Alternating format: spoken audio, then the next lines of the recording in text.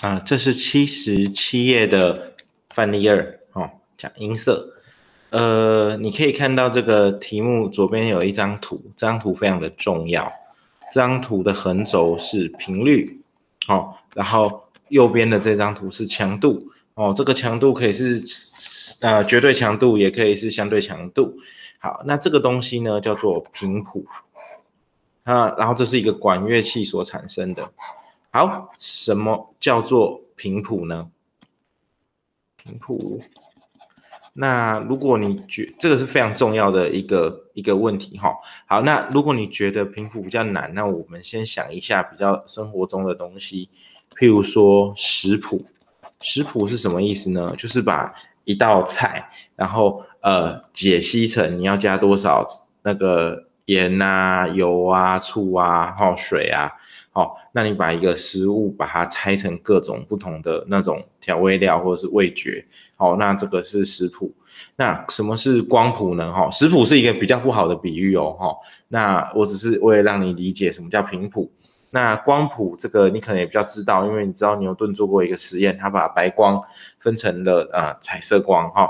那 所以把一个混合的东西把它拆成呃各种组成的成分的组合，那我们把它叫做谱。对不对？哦，乐谱也是啊，哈。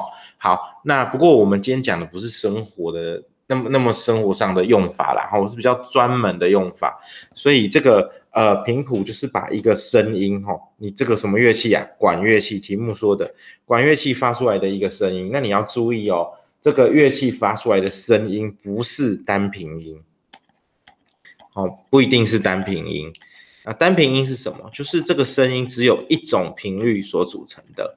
那其实不一定会发生这种事情。那它它大部分的情况下都是非常多频率的声音，然后 混合成一个特定的呃乐器发出来的声音。那如果我们用机器呀去把乐器发出来的声音分解哦解析为许多不同频率的单频音。按照不同的强度比例去叠加而成我们的声音，我们把它把一个混合哦各种不同单频音呃混合而成的声音，把它分开来，然后并且你调查了每一种单频音的相对强度或绝对强度是多少。好，举例来说，以这一张图来说，我随便讲讲那个数字。比喻一下，也许就叫做呃频率一百赫兹的占了十七趴，两百赫兹十五趴，三百赫兹十三趴之以此类推，然后这里到六百赫兹，然后把这边这边的趴数加起来就是百分之百这这样子的一个，我们得到一个强度分布，哦，呃强频率每一个频率有多少强度，那我们就说我们得到了这个管乐器的某一个声音的频谱。好，比如说这个转音器吹吹出某个音，然后这个音呢的频谱就长这样。好，那这个非常的重要，这就是解析一个声音嘛，对不对？那你要解析声音需要频谱，你要解析这个光光的这个这个呃特性，你需要光谱，对不对？那这个都是比较物理上的说法。那我们讲白话一点，你要解析一个食物需要食谱，你要解析一首歌你需要乐谱嘛。好，那这个就比较。不是物理的说法，不过就是可以通用了哦。那你要知道，物理在在说的这个频谱，就是把一个混合音拆解为单频音，按照不同强度比例的叠加的组合的这种呃过程，中就是我们得到它的频谱，我们就在做它的啊频谱分析。好，那我们可以看到这一张图，它说是一个管乐器。我们看 A 选项，A 选项跟我说，哎，这个东西是闭管乐器。那我现在请你看。这个 F N 就是它的泛音，哦，是不是等于 N F one？所以这个东西，如果你之前看的影片够熟的话，你应该要知道，这个是开管乐器。这个条件是，呃，它是基因的整数倍，这个东西是开管乐器，所以 A 就直接错啦。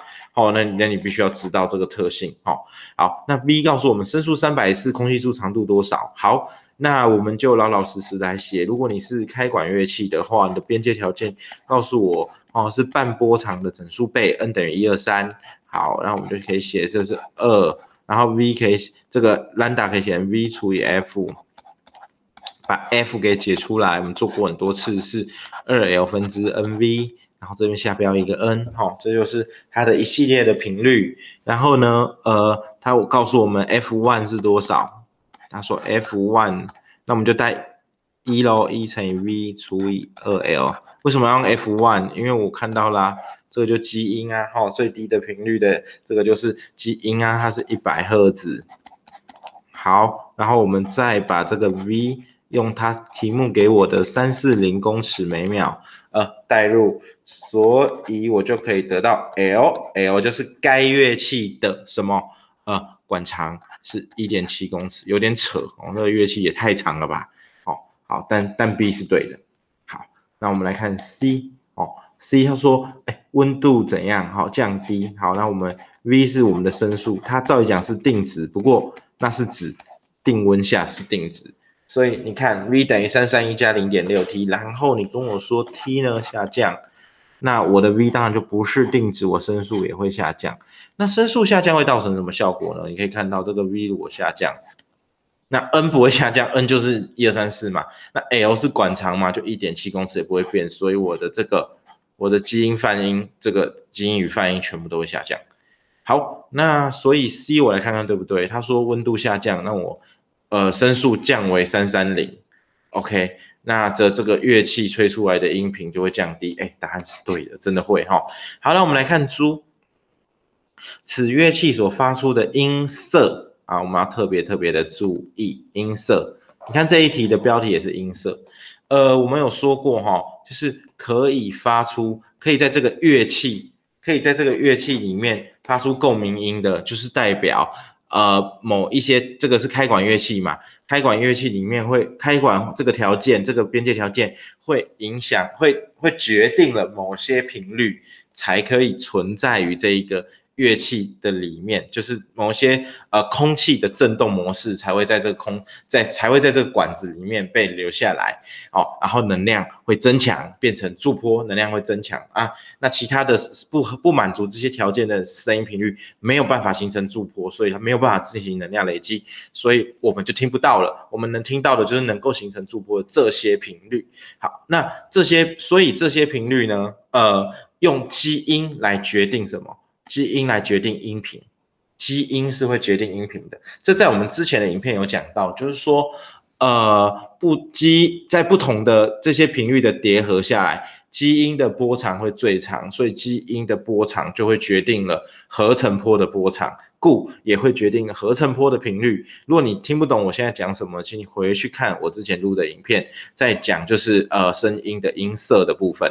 好，所以我现在讲结论了，就是基因决定。基基因决定整个合成波的音频，那至于音色要被谁决定呢？音色就是由不同频率的呃单频音，就是这个频谱里面不同的单频音所占的比例的相对值哦。